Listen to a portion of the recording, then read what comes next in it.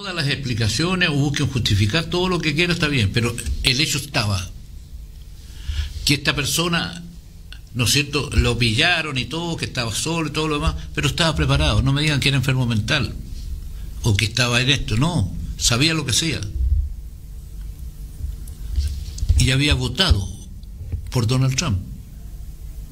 Dijeron gente cercana a él. No, dijeron que estaba inscrito en el Partido Republicano. Bueno, pero no, necesariamente que haya votado por Trump. Tiene 20 años, hace cuatro tenía 16, probablemente no votó en la última elección presidencial. Un muchacho joven, apenas 20 años. Porque ser joven es un don, pero no significa que no sepan lo que hacen. Estas modas que uno ve en la calle hoy día, la de los pantalones rotos. Antes, uh, pantalones jeans rotos por todos lados. Moda absurda, pero moda, villecao. El corte pelo, que se cortan el pelo por el lado y se dejan arriba el meñón. El caso de Vidal, se destacó por no solo por ser buen jugador, sino que por el, mechón que se puso solito lo ponen en todos lados. Y no faltan los que le copian. Y usted vayan a la calle y va a encontrar lo mismo en todas partes. Eso es así. Eso es lamentablemente así. Los profesores que deberían enseñar en los colegios la base sobre lo que significa la vida, la libertad, no lo hacen. Controlado por el Partido Comunista. Con los que profesores. Y siempre ha pasado. Siempre ha pasado. ¿Qué tiene? Entonces digo a mí, como un profesor que estudia en democracia, que cree la libertad y todo lo demás, es marxista para imponerle esclavitud en el pueblo? Veamos la lista de los que están trabajando en cargos de gobierno. Los cargos que tienen, las rentas que ganan, 4 millones, 5 millones, 6 millones, 27 ministerios si sale el de la seguridad, como dice el pato, que ya está prácticamente en trámite y lo van a sacar. Ahora, 27 ministerios. Mi ley bajó de 15 a 9. De 15 a 9. Y aquí 27. Yo vengo diciendo, tú me has escuchado y ustedes que están ahí también tendrán que recordar que hace más de un año y medio vengo diciendo que hay que reducir el tamaño del Estado. Cuando la Bachelet subió los diputados de 120 a 155, yo dije, no, esto es una maniobra política para manejar el Congreso y las leyes. Y así es hoy día. El Congreso lo controla el marxismo, el presidente es una comunista y así han estado y van a seguir.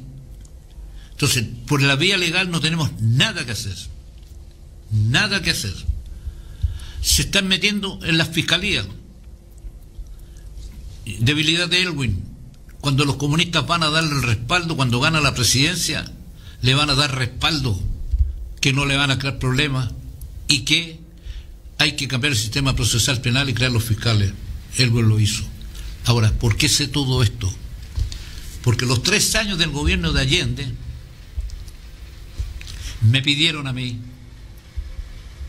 que armara un equipo de seguridad porque yo había sido detective, tenía vínculos, conozco gente, etcétera, etcétera, y hasta el día de hoy tengo buenos vínculos con ellos.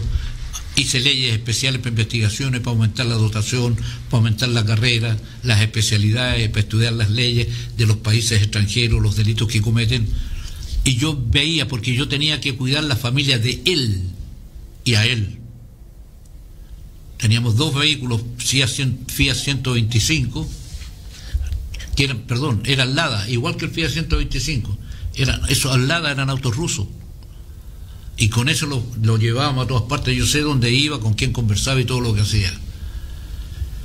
Y cuando veo que pasa todo esto, dije yo estamos mal. ¿Por qué? ¿Por qué, tener, ¿Por qué tenerles miedo a los comunistas? Porque van a crearle problemas. Se han creado toda la problemas igual. Hay que hacer leyes que las ideologías totalitarias no pueden participar en la democracia. No pueden.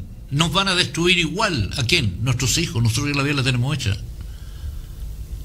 Nuestros hijos, nuestros nietos, ¿qué país van a vivir? ¿Con más gente? ¿Con menos opciones? ¿Con menos empresas? No, lo encuentro grave. No sé qué piensas tú, Pato. La situación de inseguridad en el país, bueno, es algo que marca todas las encuestas. Este fin de semana hubo más de 10 crímenes en el país, más de 10 crímenes durante el fin de semana. Solo en Quilicura mataron a cuatro adolescentes, cuatro muchachos que fueron asesinados eh, desde un vehículo en marcha. Eh, son muchos los casos de crímenes registrados durante este fin de semana que llama mucho la atención y claro, todas las encuestas eh, grafican que la principal preocupación que hay en Chile es justamente la inseguridad. Es el tema central hoy día, incluso por sobre el tema económico. Lo que más preocupa a la gente es el tema de la delincuencia. Pero lógico, si la palabra lo dice todo. Ahora, con respecto a lo de Donald Trump, mi opinión personal, eh, yo siempre dije va a ganar. Incluso lo sobreseyeron en las causas que él tenía, lo dejaron todo parado. O sea, le limpiaron el camino. Tenía siete denuncias, ¿no es cierto?, de negocios mal hechos o indebidos, por ponerte un nombre, para que ganara porque no había otro camino, porque Biden no se baja. Yo era partidario de Biden, lo encontraba un hombre, un político muy moderado, que había tomado medidas muy importantes con, respecto a la inmigración, con respecto a Ucrania, cómo le dio respaldo a Ucrania frente a a los crímenes que estaba cometiendo Putin, porque Rusia, curioso es, dejó de ser comunista, pero se transformó en dictadura de las mismas, ladrones, sinvergüenza, pillos y bandidos. Y los negocios de Putin en Rusia los manejan los hijos. Compraron las empresas del Estado ruso, como si aquí armaron un lote vinculado y compramos el Banco del Estado, Endesa, Copec, perdón, este, Lenap, Codelco y todas de ese tipo. No. Entonces, cuando uno ve lo que está pasando en otras partes, y aquí en particular, no fue la dictadura.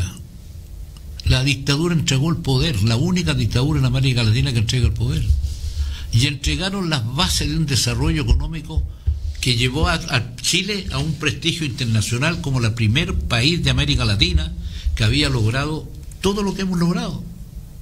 Todo.